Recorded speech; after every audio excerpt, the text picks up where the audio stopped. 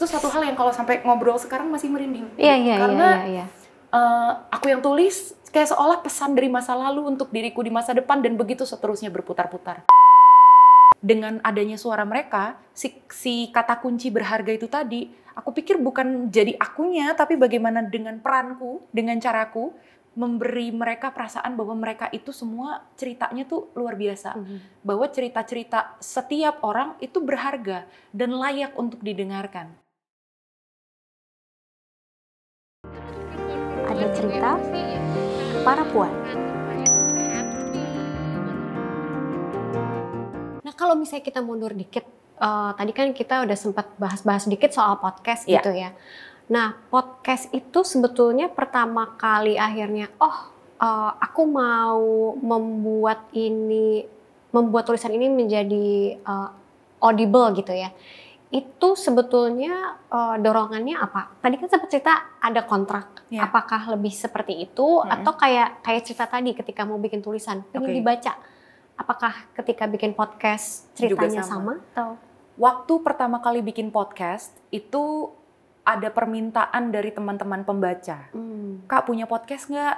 Gitu. Pada saat itu aku apaan tuh podcast Iya, gitu iya, kan? iya. Karena yang ku tahu podcast itu SoundCloud, lagu, Tuh, pendidikan.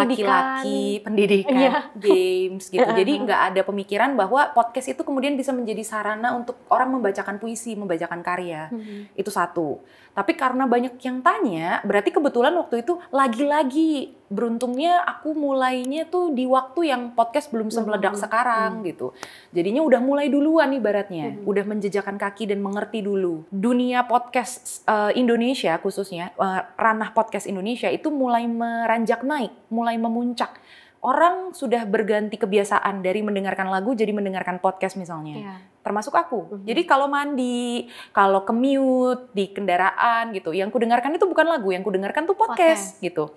Nah, itu lagi-lagi adalah sesuatu yang komunal. Hmm. Bagaimana podcast itu menjadi bukan cuma sarana entertainment, tapi dia jadi culture, Mhm. jadi budaya yang Iya. orang-orang tuh cari gitu. Di embed, di apa ya, disisipkan dengan kehidupan mereka sehari-hari Betul, gitu betul. loh. Nah, aku pikir semakin begitu bentuknya, makin aku punya energi karena pendengarnya sekarang sudah terbentuk. Lalu ada Oke. pemikiran pada saat itu kalau jalanin podcast, ini bisa jadi pelebaran tangannya kata puan. Hmm. Supaya kalau orang eh, membaca kata puan, mereka bisa dengar podcastnya. Hmm. Makin berjalan, berjalan, berjalan, oh kebalik sekarang. Orang tahu podcastnya dulu, Mhm. baru oh ternyata dia tuh menulis ya di Instagram gitu. Hmm. Jadi kupikir eh, podcast itu letaknya ada di bawah tulisan, tapi sekarang semua dia naik gerak ke atas, jadi paralel. Hmm. Orang bisa tahu kata puan dari podcastnya dulu, orang bisa baca dulu baru ke podcast. Jadi eh, it's a universe Mhm. sekarang jadinya.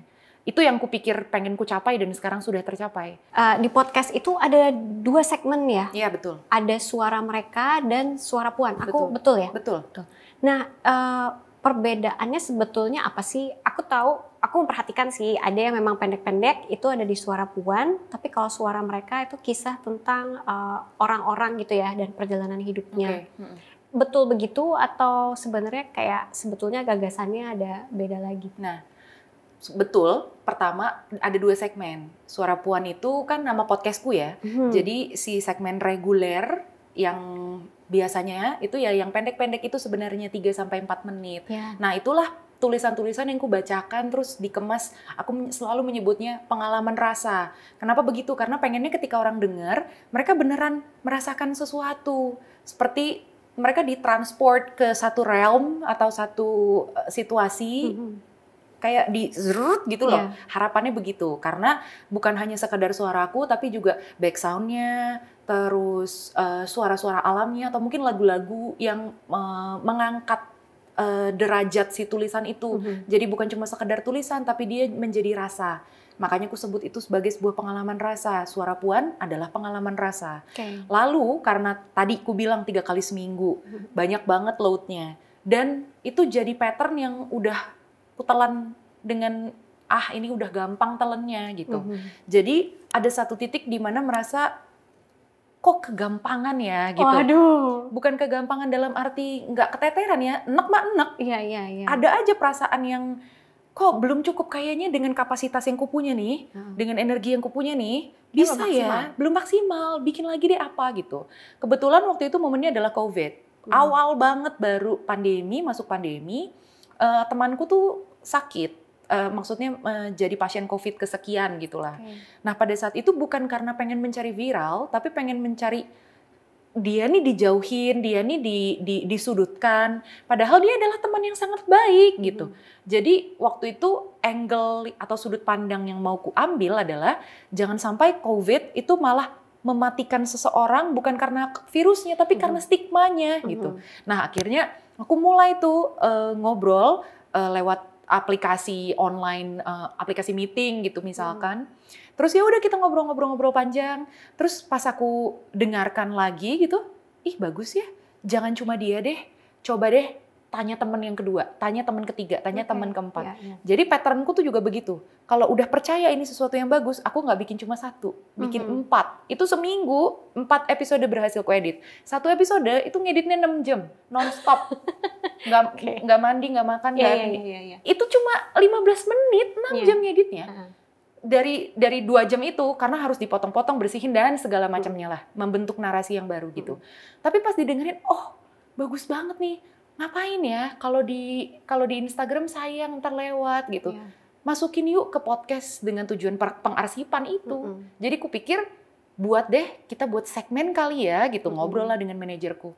Dan ternyata karena pas diedit itu nggak ada suaraku sebagai penanya, Mhm. cuma ada suara mereka. Betul, jadi ada suara mereka. Maka namanya suara, Suara mereka. mereka. Dia di bawah suara puan. Nggak usah men, apa ya nggak usah kencang-kencang kupikir ya nggak usah kencang-kencang menyebutkan ini memperjuangkan perempuan ini tuh per- keperempuanan banget orang tuh udah akan tahu dengan sendirinya Mhm. dan kupikir itu yang harusnya bikin hati lebih bergetar karena nggak perlu dijelaskan orang udah tahu ini bukan tentang eh, perjuangan perempuan yang turun ke jalan dan segala macam walaupun Mhm. itu juga bagus Mhm. tapi yang kupegang cerita-cerita yang kuangkat itu bagaimana perempuan-perempuan dengan segala kekuatannya yang berlapis-lapis itu itu berhasil memenangkan hidupnya sendiri gitu Mhm. lalu kenapa suara mereka sebagai satu segmen itu jadi sesuatu yang menggetarkan lagi-lagi karena suara mereka itu isinya orang-orang biasa Mhm. Orang biasa dalam arti bukan pembicara, bukan eh, akademisi, Mhm. bukan orang-orang yang terbiasa berbicara di depan umum, Mhm. bukan musisi, bukan insta, bukan insta apa influencer Instagram, Influencer, seleb, iya. selebgram gitu ya. Mhm. Bukan yang kayak gitu, mereka hanya teman-temanku. Tapi memang secara pribadi aku sadar bahwa sahabatku, temanku itu banyak dan kami terkoneksi ke level kedalaman yang sangat dalam gitu Iya. kalau aku bandingkan diriku Hmm. dengan orang-orang yang kutemui gitu ya Hmm. kayak oh kalau orang lain tuh berteman tuh cuma sampai level itu udah dianggap dalam ya berarti Mhm. kalau mereka menjadi gue apa ya rasanya gitu Mhm. jadi berangkat dari sana proses membentuk suara mereka itu jadi proses berkenalan lagi Mhm. dan masuk semakin dalam ke cerita hidup teman-temanku makanya di awal di musim pertama itu 42 epi- 41 episode rampung dan semuanya teman. Nah, menyenangkannya suara mereka aku tuh pengen ini jangan jadi panggung puan loh, ini jadi panggung mereka gitu. Mhm. Maka keberhasilan suara mereka itu nggak lepas dari bagaimana mereka tuh happy banget. Mereka juga menerima recognition, mereka juga "Ap- aku tuh kayak cuma perantara aja udah titik. Tapi ternyata itu pun perasaan cukupnya cukup. Gitu. Ya. Terus bikin lagi lah dengan tulisan itu, kemudian cerita-cerita mereka itu ditranskrip. Terus aku bikin satu akun Instagram dedicated khusus untuk suara mereka Mhm.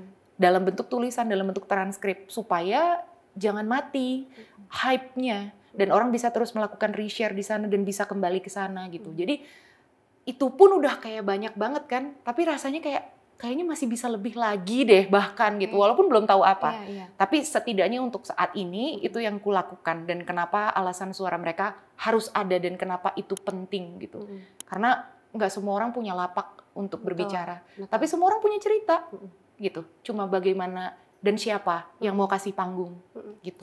Ini akhirnya pembicaraan kita kayak Puan Unite ya. Wah, ada para puan, juga, ada cerita betul. para puan, ada kata puan, suara ada suara puan, ya. ada suara mereka Iya. gitu. Tapi em, ah, kayaknya kita bisa sepakat sih bahwa ketika bentuknya itu tulisan, oke kita baca gitu ya. Tapi ketika tulisan itu diomongin dan kita bisa dengar lagi, kadang kan kita kalau dengar lagi suara kita sendiri ngomong afirmasi kali atau cerita sesuatu, itu kadang bisa menyembuhkan diri juga nggak sih? Betul, Karena kayak em, kalau dibaca doang suatu hal, Mm-mm. tapi ketika diomongin dan kita dengar sendiri itu kan kayak uh, mengubah apa yang ada di kepala, mengubah apa yang ada di dalam, mm, menggerakkan sesuatu Iya. sesuai dengan tujuannya Kak Stefani juga betul, itu ya. Betul. Seiring berjalannya memang kan banyak banget tamparan-tamparan yang datangnya dari diri sendiri Mhm. dan itu yang kadang-kadang eh, kalau ada di satu titik aku lagi negatif banget nih state of mind-nya, terus mendengarkan sesuatu di suara Puan, terus aku kayak pan sih lo? Ya, Ke diri ya, sendiri, ya. Mm. Itu ada perasaan it, perasaan itu dikalahkan dengan perasaan nggak mau berkarya dengan tidak jujur. Oke. Jadi perasaan ingin memenangkan ego atau Mhm. memenangkan negativisme itu kalah dengan perasaan wah gue nggak truthful nih berkaryanya. Mhm. Jadi memang si konteks karya kekaryaan itu akan selalu menang dan akhirnya dia yang menjadi dalam tanda petik penyelamat diri sendiri itu Hmm. yang tadi kamu mention bahwa mendengarkan sesuatu yang ber- yang kontra dengan apa yang kita pikirkan saat ini datangnya dari diri kita yang di masa lalu Betul. itu jadi tamparan untuk balik lagi ke jalur lo. Ini jangkar lo, balik ke sini Mhm. gitu. Ya, kalau ini kita jadi bahas dikit ya. Kalau misalnya di para puan itu kan kita saat ini percaya bahwa perempuan itu harus tahu bahwa mereka berharga. Apalagi di masa pandemi gitu ya. Kan kayak cerita tadi aja, overthinking kita banyak banget. Dengan problem kiri kanan tuh kadang-kadang kita kayak, ya eh, kayaknya emang mungkin gue cuma sampai segini doang kali. Meskipun di dalam hati yang paling dalam kita tahu, enggak, kayak tadi cerita Kak Stefani, kayaknya ini bisa lebih, Iya. kayaknya ini masih bisa eh, lebih besar lagi Iya, gitu. iya, betul. Dan sebetulnya memang jadi menyenangkan ketika ada ada kata puan, ada suara puan gitu ya, yang menaruh lagi sih uh, porsi dan pengingat ke perempuan tanpa harus itu tadi ya turun ke jalan atau uh, ngasih tahu bahwa eh kita uh, apa namanya berjuang buat apa, iya. Enggak sih, tapi uh, kadang-kadang itu jadi cara mudah untuk mengingatkan lagi bahwa oh iya ya, aku berharga ya. Uh, oh temen yang kita dengerin ini ceritanya dia juga berharga loh. Betul. Apalagi aku tuh denger cerita yang uh, breast cancer, itu aja aku uh, Luar baca, biasa ya. iya aku baca transkripnya dulu kan, aku baca transkripnya dulu ceritanya kayak apa sih gitu. Abis itu aku dengerin suaranya, itu rasanya kan langsung beda banget Beda ya. banget, beda banget. Dan dua pengalaman itu memang bisa dipersif sama orang tuh dengan cara yang berbeda Hmm, memang. hmm. Aku sadar. Oleh karena itu menyediakan platform yang berbeda, satu bentuknya transkrip bacaan, Iya. satunya lagi Iya. berbentuk suara. Itu tuh ya tergantung selera siapa. Mhm. Yang penting it's out there. Jadi siapa pun yang eh, berhasil menemukan itu dengan caranya masing-masing, kemudian bisa memilih mana yang lebih cocok buat mereka. Mhm. Kembali ke persoalan aku berharga, aku pikir itu tuh penting banget sih untuk dirasakan Mhm. dan perasaan eh, ke- dalam dalam hidup ini gitu kupikir ya. Yang ku cari itu perasaan bahwa aku nih mengerjakan sesuatu yang bermakna loh, Mhm. bawa impact loh gitu.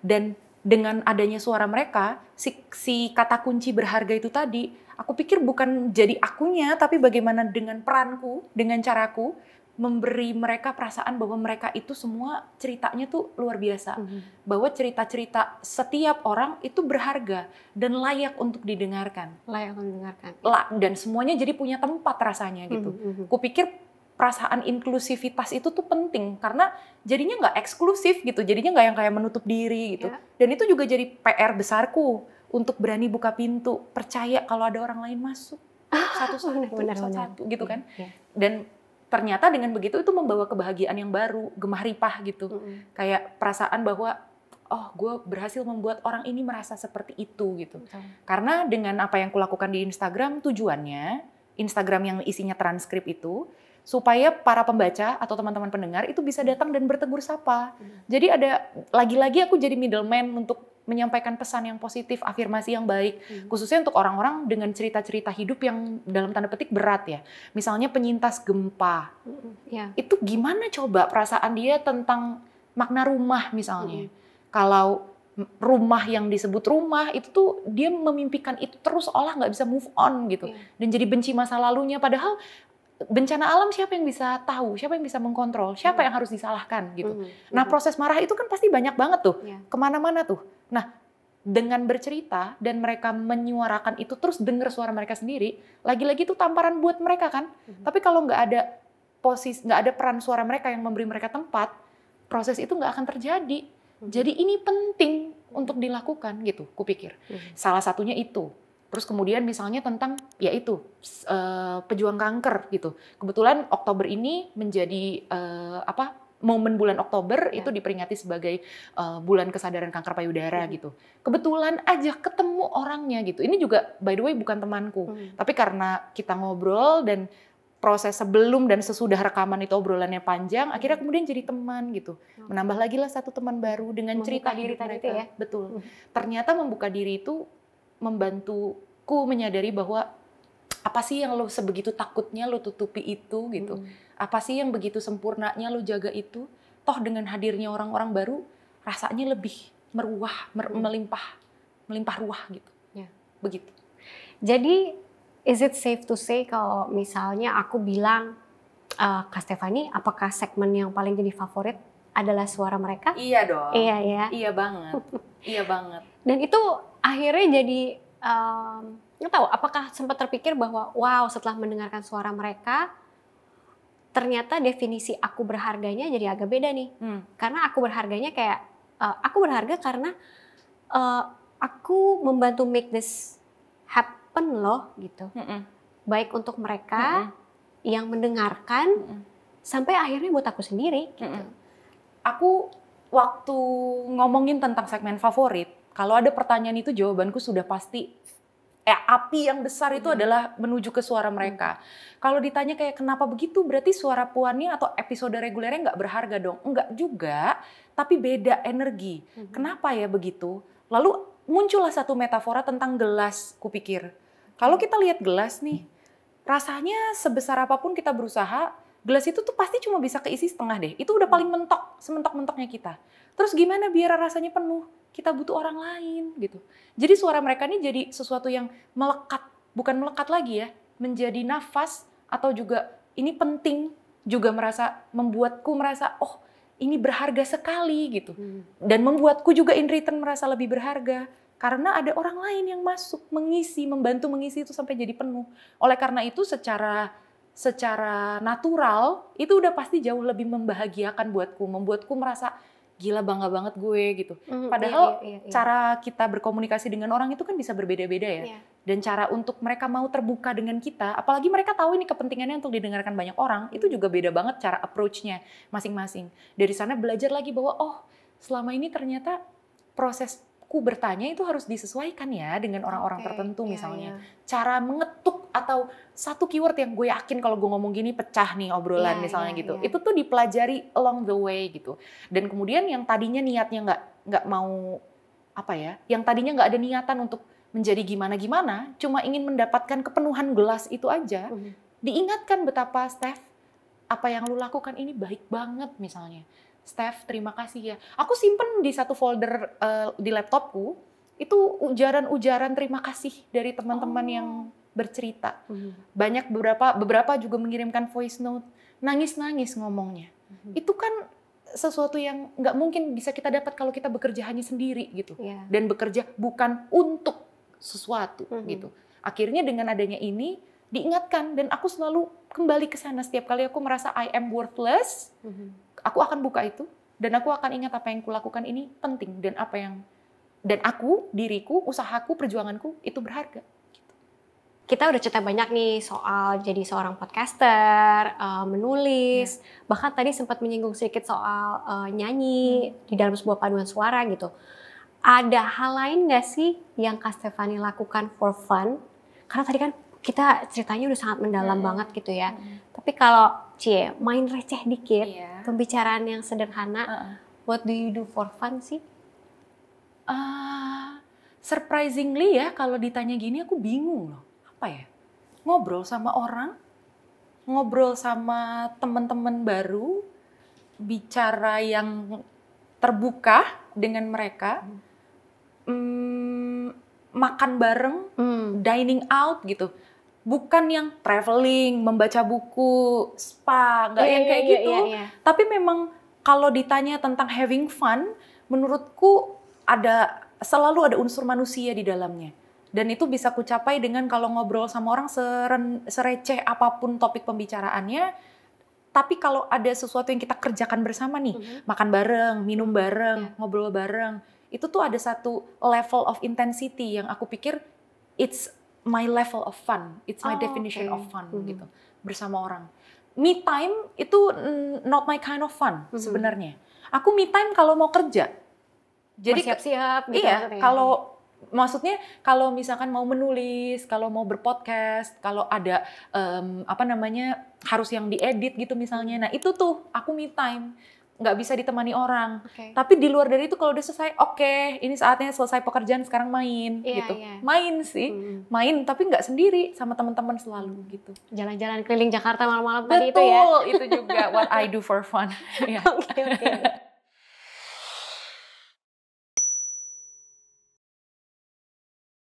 Tuh, berterima dengan perasaan nyaris itu yang indah ketimbang Iya. kayak kalau selesai resolusi terus apa gitu loh. Iya. Nah perasaan kentang itu akan membuat kita either mencari, either merasa tidak cukup, either menjadi lapar dan mau mau terima yang lain lagi Mhm, gitu.